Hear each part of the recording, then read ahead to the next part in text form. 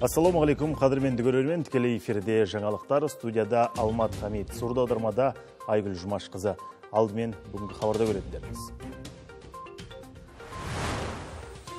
бірінші маусымнан қазақстан қалалары арасындағы блокпосттар алынады. Бесінші маусымнан жолаушы тасымалдау ісі жанданады. Елмен бірге екендіктерін паш етті. Аспмк 519 холдингтік компаниясы облыстық жедел жәрдем орталығына заманауи реаномобиль тарту етті. Талап төркіні жол сапасын көтеру. Облыстық сыбайлас жемқорлыққа қарсы іс қимыл департаменті жанынан құрылған комиссия талдықорған жолдарын тексерді.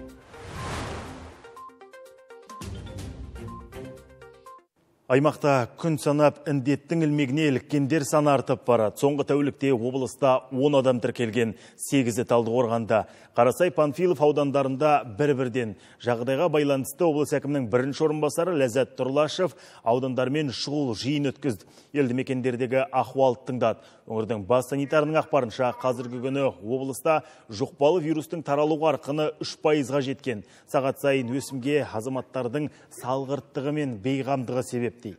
Бүгінге дейін қалада карантин талабына бағынбаған 400-ден аса адам жауапқа тартылған. Жиында Ләззат Махатұлы аудан қала әкімдеріне сақтық шараларын күшейтіп халыққа түсіндіру жұмыстарын үздіксіз жүргізу қажеттігін айтты. Сондай ақ күн тәртібіндегі кезек күттірмес мәселе жұмыспен қамтудың жол картасы. Бүгінде жоспарлы жобалар қолға алынып, 3383 адам жұмысқа орналасып үлгерген. Десе де бұл істе Райымбек, Көксу аудандары артта қалып отыр. Электронды келісім шарт жасау ісінде де қос аудан тізім соңында Ләззат Махатұлы қалыптасқан жағдайды жіті саралады. Жиын соңынан нақты нұсқау тапсырмалар берді. коронавируспен күресті жаңа тактика бойынша жалғастырамыз ішкі саясат дкз ға да осы індетке де көңіл бөліңдер постоянно енді мынау теледидардан газеттерден осы әңгімелерді жүргізіп отыру керек елді ескертіп отыру керек. Енді біздің айтатынымыз жаңағы дистанция масочный режим істеп тұрған мекемелер санэпидемстанцияның талабын орындау керек. Оған мобильный группаларыңмен бірге тексеріп тұрыңдар. Елбасы ұйытқы болған біз біргеміз атты бастамаға қолдау. Бүгін АСПМК 519 холдингтік компания әкімшілігі жетсулық ақылаттыларға заманауи реаномобиль тарту етті. Құнды тартуды компанияның басшылығы елбасының біз біргеміз акциясын қолдау мақсатында ұсынып отыр. Аталмыш компания тартуы Реаномобиль, ГАЗ-32-214, Газель автокөлігі. Іші барлық қажетті аппараттармен жабдықталған. Қатарында өкпені жасанды желдету аппараты, дефибриллятор, пульсометрлер мен тасымалдауға арналған құралдар да бар. Нашей компании Біздің компанияда екі жарым мыңнан аса адам жұмыс істейді. Олардың барлығы талдықорғандық тұрғындар. Сол себепті біздің бизнес халыққа, медицина қызметкерлеріне осындай қиын уақытта көмек, қолдау көрсету керек деп ойлаймын. Біз бұдан бөлек Талдықорған және Текелі қаласының 200-ден аса ауырып жатқан балалар мен тұрғындарына 9 миллион теңгеге көмек көрсеттік. Ал бүгінгі мына тартуымыз дәрігерлерге алғыс ретінде ұсынып отырмыз. Жалпы облыстық жедел жәрдем қызметінде 120 бригада 700-ден аса медицина қызметкері бар. Олар әр күн сайын 2000-ға жуық шақыртуға барады. Техника мен адам саны айтарлықтай болғанымен өңір бойынша жетіспеушілік бар. Сол себепті станция директоры бұл сыйды қуана қабылдады, алғысын айтты. Бұл ә, машинені біз ә, сенімдіміз, үлкен бізге жұмыс еңбек етіп береді. Себебі ә, біз оны санитарный авиация дейміз соған береміз. Санитарный авиация осы күнге дейін ғана 885 вызов жасапты. Бұл жаңағы автотранспорттың көліктің жүрген жүрісі өте көп. Айына бізде бір машине бір жеті жүз шақырым мың шақырым жер жүріп тастайды. Сондықтан бізге әрине осындай көмек деген үлкен үлкен көмек болып жатыр. Біз оған қуаныштымыз. Виктор михайлович қасындағы ерітпеген азаматтарына және ұжымдарына үлкен алғыс білдіреміз. Рахмет. Айта кетейік, тамаша тартуды жасаған АСПМК 519 энергетикалық салада қызмет көрсететін бір қатар өнеркәсіптік және сервистік кәсіпорындарды біріктірген ірі холдинг. Басшылығы бұл тартуды қиын қыстау кезеңде ел медицинасына көмегіміз деп отыр. Алмат Хамид Абзал Нүсіпов, Жетісу телеарнасы, Талдықорған. Бірінші маусымнан Қазақстан қалалар арасындағы блокпосттар алынады. Бесінші маусымнан тасымалдау шараларын жандандыру бойынша жұмыстар іске асырылады. Сәйкесінше өңірлер мен облыс орталықтар арасындағы автокөлік қатынастары жанданады. Осы орайда тұрғындар темір жол немесе автобус көліктерімен қатар жеке автомашиналарымен де емін еркін жүріп тұра алады.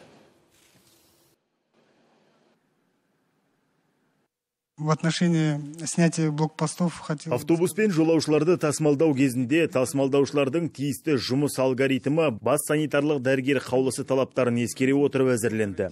Осы орайда бағдардың соңғы пункттерінде автобустарды дезинфекциялау, көлік салонына тек медициналық маскада отырғызу, сондай ақ басқа да қауіпсіздік талаптары ескеріледі. Алматы маңындағы бақылау өткізу бекетінде мерт болған полицейлердің құрметіне және жол апатынан зардап шеккендерге арнап облыстық тәртіп сақшылары қан тапсырды. Донор болғандар арнайы және жұмылдыру дайындығы басқармасының қызметкерлері. Олар облыстық қан орталығына жұмыс уақыты басталғанға дейін, яғни таң сәрден келді. Қажетті тексерулерден өтіп, қан өткізді. Өңірде қан мен оның компоненттеріне деген қажеттілік 8 мың литрді құрайды. Бұл сұраныс әрдайым қажет жеткілікті түрде өтеле бермейді. Дегенмен бір донордан алынған қан бір адамның өмірін сақтайды дейді дәрігерлер. Коронавирусқа байланысты осыған байланысты донорлардың саны мүлде азайды.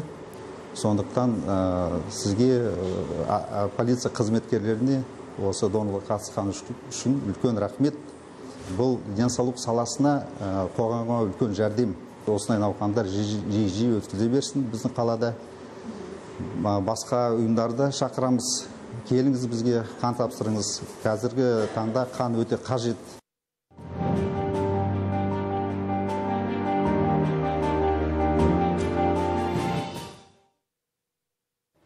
Қазақты сорлатқан нәубеттің бірі ашаршылық. Тарих беттерінде ұлтты қынадай қырылған қасіретті тұсы болып жазылды.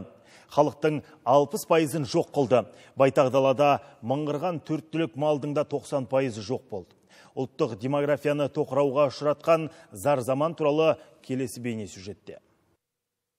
20 ғасыр басында қазақ даласында екі мәрте ашаршылық болды. Алғашқысы азамат соғысы аяқталған соң 1921-1922 жылдар аралығында. Ұзаққа созылған қарсыз қыз жауынсыз жазға ұласқан десет. Қыста қардың, көктем мен жазда жауынның болмауы құрғақшылық, оның салдары ашаршылық нәубетін әкелген. Деректерге сүйенсек 1921 жылдың күзіне қарай Кеңес одағында 20 миллионнан астам адам аштыққа ұшырапты. 1922 жылдың наурыз сәуір айларында Қазақстанда да ашаршылық ушықты. Оған дәлел қазақ кср орталық атқару комитеті төрағасы сейітқали меңдешевтің үшінші сессиядағы мына баяндамасы. Осы жылдың көктемінде алынған деректер бойынша қазақ жерінде аштыққа ұрынғандар саны 2 миллион 832 мың адамға жетті. Негізінен 1920 жылдың соңында елдегі халық саны 4 миллион 781 мың 263 адам болған еді. Сейітқали меңдешев 8 шілде 1922 жыл.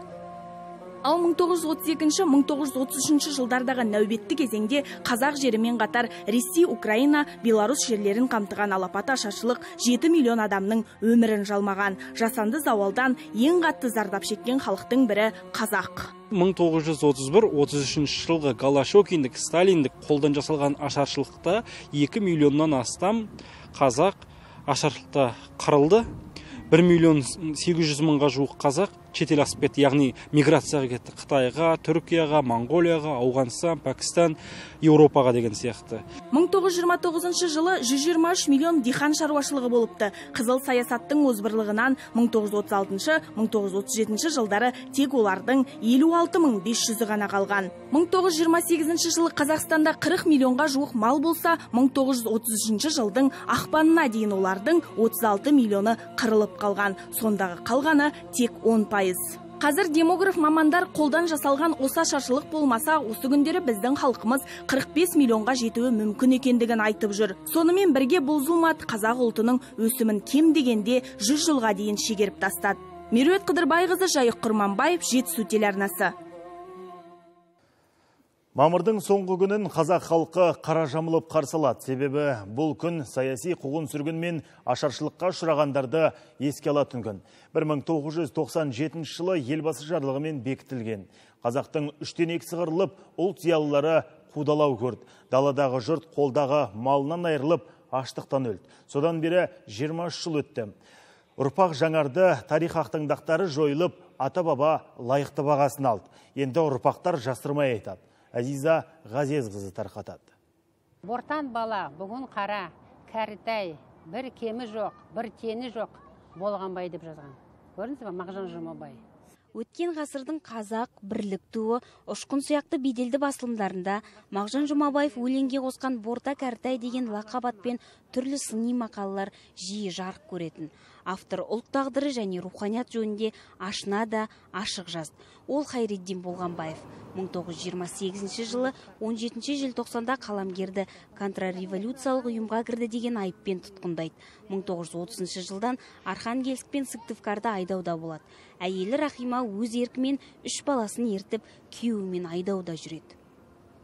Сол жаңағы лагерьда балалармен төрт жыл өмір сүреді. Қиындық көріп суық көріп онда ауа райы өте керемет суық сосын енді түрмедегі адам қиындықтар көп көп көрді ғой. Сол сол жақта болғанда хайридин атамның енді кіші баласы серік деген енді ауырға ауырып қайтыс болады. Ол 1934 жылы елге оралып оңтүстіктегі қапланбек мал дәрігерлік техникумында ұстаздық етеді. Бірақ қызыл саясаттың кәріне бір іліккен хайреддин болғанбаев 1937 жылғы жазалаудан құтылмады. За антисоветскую деятельность осужден в высшей мере наказание расстрелу деген осындай архивтан қағаз құжат берген. Бір мың тоғыз жүз тоқсан жетінші жылы анама берген. Осындай қатаң үкіммен атылып кеткендердің ішінде сырым ғаппасұлының атасы да бар. Мұхаммед қали тәтімов өз кезеңінің ең бірінші еңбек комиссары болған.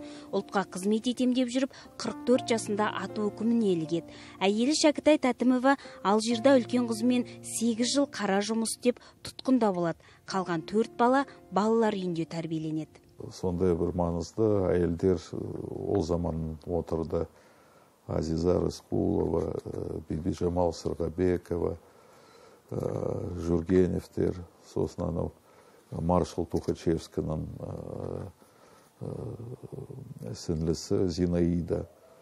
Алпыс екі мемлекеттің әйелдер отырды.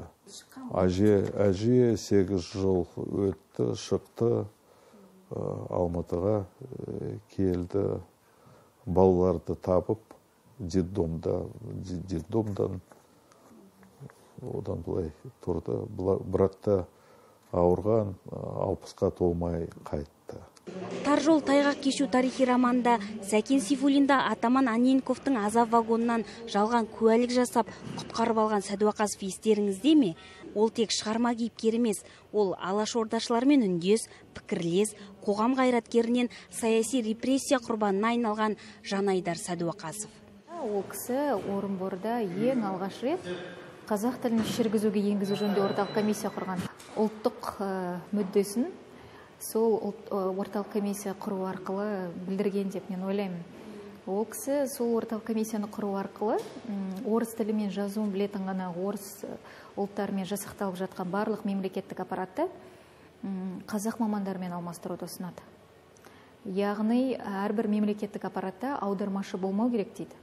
Егер аудармашы болған жағдайда ешкім қазақ тілін үйренбейді дейді. Жанайдар сәдуақасов кеңестік жүйеде қызмет етсе де ұлттық мүддені назардан тыс қалдырмады. Қазақ тілінде басылымдар санын арттыру қазақ балаларын оқытатын мектептер мен жоғарғы оқу орындарының салынуы қазақ ұлттық театрының ашылуына да белшеше кіріскен. Бірақ осындай белсенділігі халық жауы деген ауыр айбар қалатты өзі ғана емес бүкіл отбасы.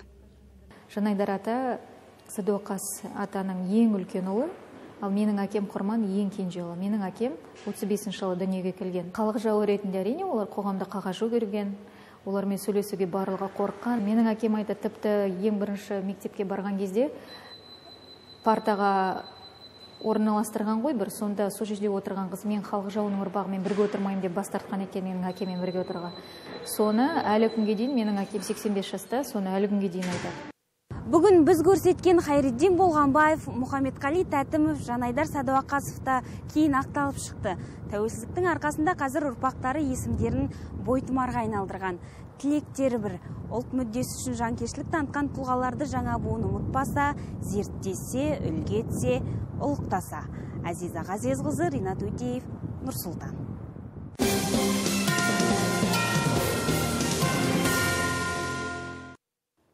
Талдықорғандағы кейбір жолдардың сапасы сын көтермейді. Жарты жыл бұрын ғана төселген асфальт түгіліп, шұңқырлар пайда болған. Облыстан құрылған арнайы мониторингтік топ қала жолдарын тексеріп, жұмысы сапасыз мердігерлерге қатаң ескерту жасады. Сапалы жол жобасы аясында Талдықорғандағы төселген және енді төселіп жатқан жол учаскелері тексерілді. Мұндай құзыр облыстық сыбайлас жемқорлыққа қарсы іс-қимыл департаменті жанынан құрылған комиссия мүшелеріне берілген. Құрамында мемлекеттік қызметкерлерден бөлек жол басқармасы мамандары, әкімшілік полиция өкілдері, құқық қорғаушылары бар. В качестве итога получается по выявленным нарушениям сапа қорытындысына сәйкес жолда анықталған олқылық әкімшілік полицияға жолданады. Олар сапасын реттеуге бұйрық шығарады. Егер де сол ескертуге қарамастан жол жөнделмесе жауапты мекеме әкімшілік жазаға тартылады. Былтыр қаладағы шоқан уәлиханов көшесіне күрделі жөндеу жүргізілген. Комиссия тобы высотник мердігер компаниясы жүргізген жол құрылысын сапасыз деп бағалады. Мәселен жарты жыл бұрын ғана жасалған тас жолда ойықтар пайда болған. Төселген асфальт күннен күнге үгітіліп жатыр. Аумағы төртте екі шақырым жолды сапасыз салған жауаптылар өз қаражаттарына қайта жөндеу жүргізеді. Объект у нас переходящий. Сейчас ожидаем технику с алматы бұл объект өтпелі. Алматыдан арнайы техниканы күтіп отырмыз. Қазір жолды фрезермен өңдеп үстіңгі қабатын қайта төсейміз. Асфальт сапасы сын көтермейді. Сондықтан жол өгіліп жатыр. Сарапшылардың қорытындысына сәйкес асфальт құрамында битум жетіспейді. Біз оны талдықорған кіреберісіндегі строй оазистан сатып алғанбыз. Анықталған олқылықтарды тез арада жоюға тырысамыз. Қала орталығындағы Қабанбай көшесі де көңіл көншітпейді. Бір жыл толмай төселген асфальт тегіс емес. Жылып өтетін жолдың люктары біргелкі орнатылмаған. Мониторингтік топ мердігерлерге көшені тез арада талапқа сай келтіруді тапсырды. Жол жөндеу жұмыстары орташа жөндеу бойынша 54-те 3 шақырымды, күрделі жөндеу бойынша 9-да 4 шақырымды және дорог бойынша 6-да шақырымды құрайды қиыршық жөндеу бойынша ынтымақ ауылында он тоғыз шақырымда қарастырылған. Қазіргі таңда құрылыс жұмыстары жүргізуде. Биыл талдықорған бойынша жолдарды жөндеуге 5 миллиард теңгеден аса қаражат бөлінген. Оған 97 көше ұзын санды 90 шақырым жол жөндеу жоспарланған. Судың да сұрауы бар. Жаңартылған жолдар тегіс жіті тексеруден өтеді. Мадина берікқызы евгения присяжная абзал нүсіпов жетісу телеарнасы. Әлеуметтік жағдайы төмен жүз жанияға гуманитарлық көмек көрсетілді. Көмек алғандардың қатарында көп балалы және жалғыз бастанылар да бар. Осы орайда жетісулық еріктілердің еңбек орасан. Олар елімізге төтенше жағдай енгізілгеннен бері 13560 отбасыға жәрдем беріпті. Әсел ба бес баланың анасы. Мына аяда екі бөлмені 15 мыңға жалдап тұрады. Карантин енгізілгеннен бері жұмыссыз отыр. Бұрын қаладағы мейрамханаларда ыдыс жуып күнделікті нәсібін тауыпты. Олар жұмысын тоқтатқалы екі жарым айдай болды. Күйеуінің денсаулығы нашарлап ауруханаға жатып қалыпты. Аз қамтылған отбасынан біз қазір енді карантинге байланысты жұмыссыз үйдеміз. Мейірімді жетісу жастарына рахмет мыңда бір алғыс осындай көмек беріліп жатқанына самал мұратбек қызы да көмекке мұқтаж отбасылар санатынан. Ол мейірімді жетісу фронт кеңсесіне хабарласқан. Қиын кезде айтқан өтінішімді тыңдап елеусіз қалдырмады дейді. Көпке жылуын шашып жүрген еріктілерге дән риза. Бес балам бар жалғыз басты анамын. Ә, квартирада тұрам жалға төлеп 15 мың төлеймін айына квартирама су светті қоспағанда. Не деймін осы бала шағамды асырап отырмын. Пособиямен күн көріп отырмын сөздің шыны керек. Жұмыс жасамаймын. Өйткені кішкентайыма қарайтын адам жоқ. Мейірімді жетісу фронт кеңсесіне 404 404 39 010 40 байланыс номерлері арқылы шығуға болады. Кеңсе еріктілері көмекке мұқтаж отбасылардың жағдайына қанығып мекен жайларын тізімдейді. Мүмкіндігінше көмек қолдарын созады. Бүгінгі таңдағы біздің енді облыстық деңгейде жастар ресурсы орталығының әр аудандардағы филиалдары қызу жұмыс жасап халыққа осындай карантин кезінде қысылып жатқан отбасыларға мейлінше меценаттар арқылы еріктілердің өздерінің жаңағы жинаған қаражаттары арқылы қайырымдылық шаралары көрсетілуде. Әр апта сайын ай сайын біз есебін шығарып бұл игілікті шараны жалғастырып тұрамыз. Облыстық жастар ресурстық орталығының еріктілері төтенше жағдай кезінде 13 мың 500-ден астам жанұяны түрлі қолдау шараларымен қамтыпты. Сондай ақ қала тұрғындарына 54 мыңға жуық бетперде таратқан. Медет жұмабай әсет дүйсенбек жетісу телеарнасы.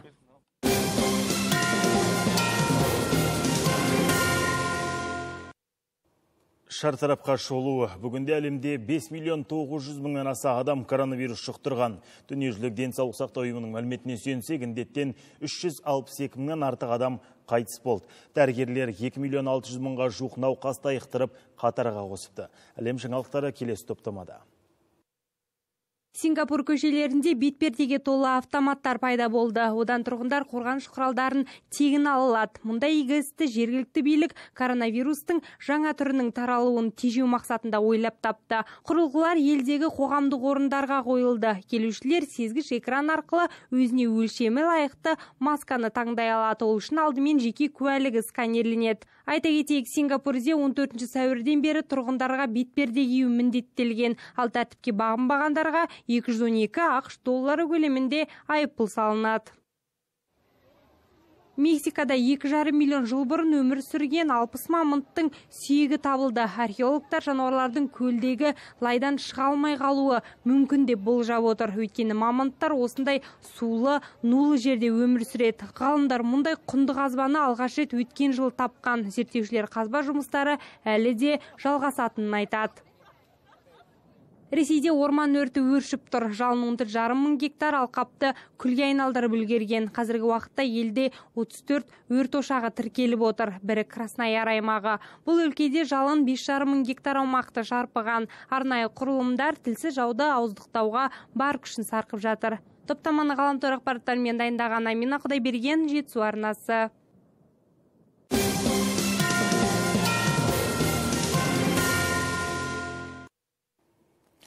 Алматы облысының ауыр атлетикадан құрамасы қыста өткен Қазақстан біріншілігінде командалық есепте топ жарған болатын. Енді жерлестеріміз індет сейіліп карантин алынған жағдайда Азия біріншілігіне қатысуды жоспарлап отыр. Ол үшін алдымен республикалық іріктеу турнирында жеңіп шығу керек.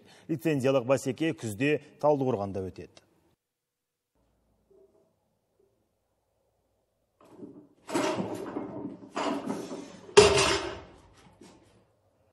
Егорсон бастаған ауыр атлетикадан елімізге еңбек сіңірген спорт шеберлері үйде және жекелеген жаттығу залдарында дайындалып жатыр. Басты мақсат спорттық бабын сақтап шеберлігін арттыру. Сонымен қатар қыркүйекте талдықорғанда жалау желбірейтін маңызды республикалық жарыста топ жару.